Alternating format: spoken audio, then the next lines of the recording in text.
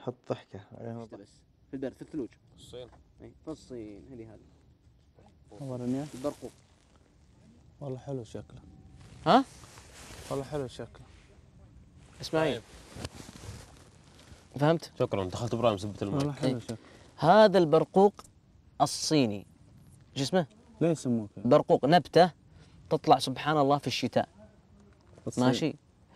إي أدباء الصين خلوها رمز الأمل. يعني كيف إن نبتة تستطيع الخروج في موسم الثلوج والشتاء في الصين؟ يعني هذه ما تطلع إلا بالثلج. مرة.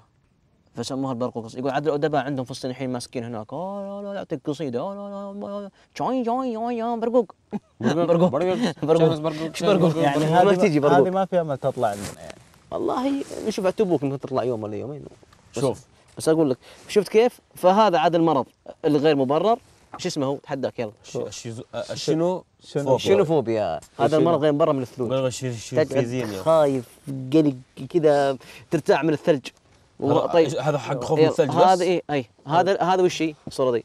يلا. هذه شرق ال- شرق لا القطب القطب الجنوبي. الجنوبي. نعم. وكم القطب درجة الجنوبي الحراره؟ درجة حرارة 93 مك تحت الصفر. أبرد مكان في العالم. ما في سكان طبعا. العالم. 93 خالي من درجة. سجلت في ابرد منطقة في الكرة الأرضية. طيب هذه الأعمدة هذه حقت شنو؟ هذه قياسات أي انت بتجي بكرة بعد. ثلاث أيام ان شاء الله بجيكم عاد احر مكان في العالم. تستغرب من الحرارة. حفر الباطن. لا. الحرارة 50 هناك وصلت وصلت 70 في في مواقع في مواقع تدخل عليها تعطيك أعلى درجة حرارة في العالم اليوم. إيه. يعطيك إنه كانت حفر الباطن تصنف أحيانا رابع دو... رابع آه، مكان الكويت في العالم. بعدين، الكويت. والكويت بعد. الكويت نعم. وفي شرق باكستان مدري إيش. هذا كم درجة هذا بقايل هذه. قرية. إيش اسمها؟ أولمبياكون اي شو. اوي اوي الشمال مياكون الروسية. الروسية في الشتاء هذا غريب إنه 71 درجة تحت الصفر في البرد يا عمي أنا هنا نوصل إلى يمكن 16 14 خاصه بعد إني ما عاد أقدر أمشي لا والغريب في الصيف 50 طيب هذيك لا، اليوم وفي من اصور سكان. ال- في اسمها سكان؟ اشتغل هذيك اليوم على سناب لما كنت مسوي بث قبل البرنامج أنا أنا أنا. إيه. وانت كنت دا- داخل على البث عندي. إيه. وصورت لك درجه الحراره بالسيارة. لي خمس درجات ذكرت. تمشي. كنت بالحفر على السيارة. يمكن معك. بعدين جاء أخوك الصغير ظني. أيوه. عبد الرحمن اسمه؟ اي عبد الرحمن. تمام الله يا. ولد ناس تخاف خمس درجات يا رجل. يقول كيف تمشي بهالبرد؟ قلت ناس.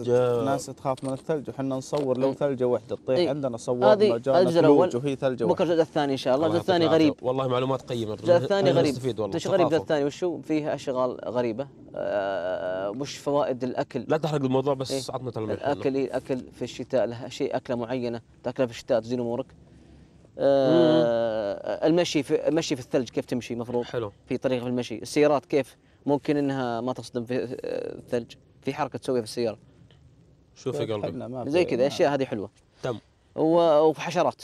بتكون تطلع نعم. تطلع في الثلج سبحان الله. المهم أنا ما أدري في في الثلج تطلع. ناديني وقت الفترة طيب هذه. حنا على العج ما عرفت شلون نمشي بالعج العج ترى على فكرة طاري العج وما العج يعني حسب واقع ثق- ثقافتي المثقفة الغير مثقفة. العج العج. العج ترى صدق إنه مفيد جدا إلى القوة. مفيد جدا. ترى أنا ما كنت أدري. والله مفيد. مفيد فائدته أكثر من يشيل الحشرات. ما في شيء ربنا سبحان الله. سبحان الله صحيح. يقرر عليك أو يفرض عليك إلا إنه في فائده أكيد أعطني فائده أنا؟ فائده أنا عندي فائده يقتل الحشرات.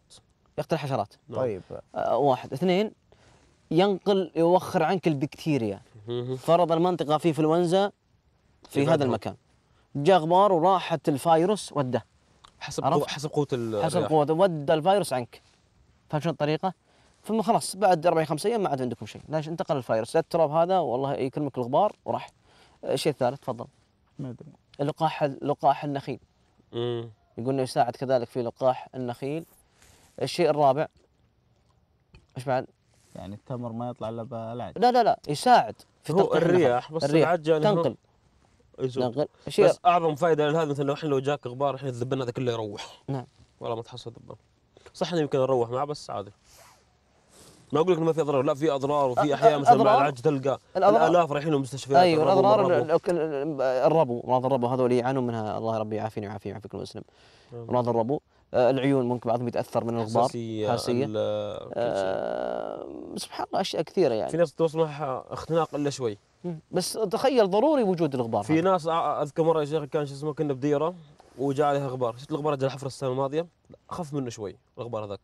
أخي جاكم أنتم غبار قبل سنة أذكر جاء كان أيوه. كان ظلام. والله أنا أنا مصور كذا حاط يدي كذا وقاعد أصور. يا جماعة درجه حراره درجه الحراره إحنا الحين الساعة 2 أنا- الظهر وهذا هذا الجو عندنا. أنا مصورة بانستغرامي موجودة الحين. مصورة وكان الوقت الظهر. تدري إيش كان ودي أنا؟ وللأسف وليه؟ كان الكهرباء بعد؟ بنفس اليوم. طفل الكهرب مو كل الحفر بعض الأحيان. يعني كهرب وعج والدنيا كهرب وعج تصير ليل. وما في؟ مكيف خلاص كل شيء. ما تقدر تفتح شباك ولا شيء. كتمة. خف العج شوي. خف تقريبا نقول 70% خف بس الدنيا غبار غبار. طلعت. أدور لي خبز أدور لي مطعم قسم بالله الناس توقف بنص الشارع. لا إله إلا الله. كلهم يدوروا المطعم. مطاعم زحمة. تلقى لك مطعمين ثلاثة شغالين مضبطين وضعهم على السريع. إحنا بالعكس يجي العج نجوع. كل الناس الجو تدري ليش؟ إنك ما ما حد يطبخ واحد طالع كذا. ما حيطبخ ليش؟ إيه. يا أخي. البيوت تبغى لها نظافه مو طبيعيه والله العظيم إنه جارنا راح بيجيب له عمال عشان ينظفون بيته. والله يطلبوا 4000 ريال.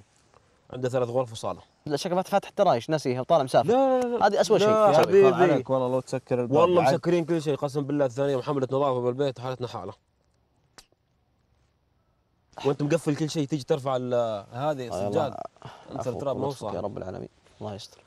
المهم بعلمك صاحبي راح لشمال جزيره شمال سيبيريا. سيبيريا هذه شمال روسيا. أوه أنا صح؟ عرف عرفت نعم صادق راح لها درجه الحراره عندهم يقول يعني إذا الجو دافي اليوم يكون سالب 30 سالب 40 هذا الحين يقولك سالب 50 هذا يقول لك- فالعز الصيف. إذا الجو دافي سالب 30 سالب 40 يقول مشيت الديره هذه طبعا طلع من السودان تخيل. شلون يمشون يا أخي؟ تطلع من الصيف هنا شوف كيف الصيف هنا تطلع. 40 درجه الحراره صح؟ لو تروح مثلا الأردن تحس بفرق الحرارة. وهي درجه الحراره بالأردن كم تفرق عنها؟ 20 درجة 15 درجة. تخيل تروح تلقى فرق فرق ال 50 درجة 60 درجة الفرق. هناك بالسالب بعد. يعني تموت. يا أخي. يقول لي ق- يقول لي في ناس تموت يجمد قلبك. إي بس هم متعودين. هي اسمع نقصد علي. حنا. إي ان أبغى رجال عطني حطني في تركيا. تلقاني يمكن ما ما تجي منها حتى بالحفر والله بالنسبة لي أنا يقول لي- وطفيت. يقول لي أول أيام كانت معاناه يقول لي صرنا نطالع يوميا الشعب هناك يطالع إيش؟ بالنشرة الجوية. إنه في شيء محتمل اليوم ولا لا؟ خلاص الأجهزة تقيس اليوم احتمال أمطار احتمال أمطار. احتمال ثلوج احتمال ثلوج مرة آه لا هو يقول المنطقة اللي أنا فيها فيها أربع سودانيين بس أربع أفارقة فقط. يقول حافظين المنطقة كلها من كثر ما فرينا فيها. مم. يقول في منطقة بالشمال شمال الديره إحنا فيها آه يوم الشباب يقول أعرف لي فيها جماعة كثير. مم. يقولوا طلعوا ما شافوا ليش نشرة الأخبار. نشر نشر أو الجوية. هذا ترى ضروري يعني. يقولوا طلعوا ملابسهم يعني صح لابسين جاكيتات بس إيه. مو ملابس الجاكيتات ذيك الفرو. تدري يهتمون هناك. بالامور هذه. دب. قطبي ما دب قطبي ما أعرف إيش والجلد حقه ما يكون سميك. يقول الجماعة هذول يطلعوا وين؟ يطلعوا لل الاشغال والجامعات وما أدري وشو. وقفوا محطة قطارات وهم راجعين. يقول لك الجو قلب. مو ماخذين احتياطهم. قالوا وش؟ ثلج الثلج ما هو بصاحي عاصفة ثلجيه عاصفة ثلجيه مم. يقول لك والله العظيم تأخر القطار عشان العاصفة الثلجيه تأخر القطار صارت له يا شيخ أضرار وما يقدر يمشي على السكة اعطاني العاصفة يقول قسم وش اسمها؟ اللي تنزل من الثلج وش يسمونها؟ الوحبة لما زادت. من فوق شو اسمها؟ برد برد لا هذا المطر الثلج وش يسمونه؟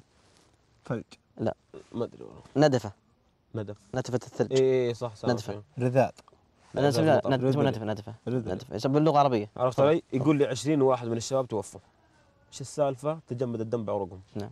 20 واحد تخيل تجمد الدم حر طول. والله لا مو خلاص انت مثلا حرقتوا علي الشو بكره أنت لو تجمد الحين مثلا اطلع مثلا بالشتاء اطلع مثلا برمودا وخذ لك فرة مشي لا تركب سيارة تقول أنا متدفي وحتى أحيانا تركب سيارة تلقى إيش؟ مثلج تجي عند الدفاية واستنى وانت حاط رجلك عند الدفاية وباليلا تدفى صح؟ فبالك انت شيخ تكون سالب 20 وسالب 30 قلت سب- سبحان الله شلون يتعودون؟ يعني جلودهم كذا تصير عادي ضد البرد. لا أنا مو جزء ضد البرد. ها. يلبس لما يقول بس. بس ترى يتأقلم مع هذه. طيب أنا أشوف برا أشوفهم شوف شفت بردنا شفت بردنا بالحفر. ثلج. بردنا بالحفر. جاء قبل سنتين تقريبا جاء عمي من الأردن. جونا بشهر واحد الشهر هذا بعز البرد قوة البرد. شهر واحد آه، ميلادي. أول ما جاي وش الحر ذا؟ وش كذا ظل قاعد مصيف؟ والله حر بالنسبة للأردن طيب هالجو. آه، سؤال استنتاج من كم قصة تسمعي الحين؟ الجسم الإنسان الطبيعي يتحمل الحر أو يتحمل البرد. يتحمل كلها أكيد بس في جزء معين في جسم الإنسان ما يقدر يتحمله. فهل لو حطيتك في مكان حار جدا تبغى تعيش فيه كويس ولا تعيش في مكان بارد جدا؟ بارد. أنا بنطرك في مكان تشتغل فيه. تقول اختار لك يا تروح القطب الشمالي يا القطب الجنوبي فرضا نفترض إن الجنوبي فرضا حر يعني يا يا- إيه. أبيض يا أسود. اختار. حلو البارد أتوقع. البارد.